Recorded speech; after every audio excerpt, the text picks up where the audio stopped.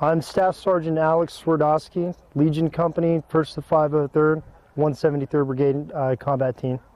Uh, we're out here conducting our squad sticks training, which is our situational training exercises. We're conducting three lanes for training. Our first lane is the ambush lane. Squad's conducting ambush. Uh, second lane is our movement to contact. And our third lane is uh, battle drill five, which is knock out a bunker.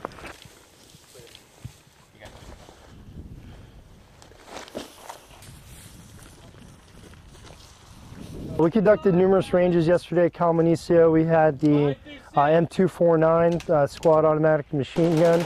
Uh, we had M9, uh, our pistol shooting qualification.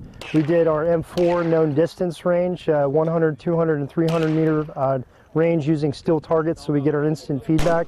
And then we focused on M320 doing our, our grenade launcher at the 40 millimeter, doing actual table qualification. Uh, did a little bit of night shooting last night and then uh, shut the range down so we can come out here to squad stick.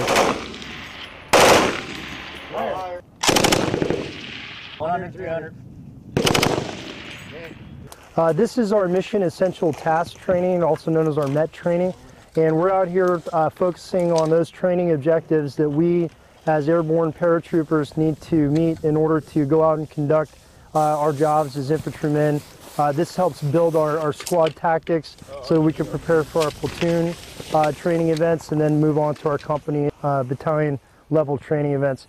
These guys out here are working just basic tactics uh, with their fire teams and their squads uh, so they can build that good foundation and then eventually go on to, to bigger training events.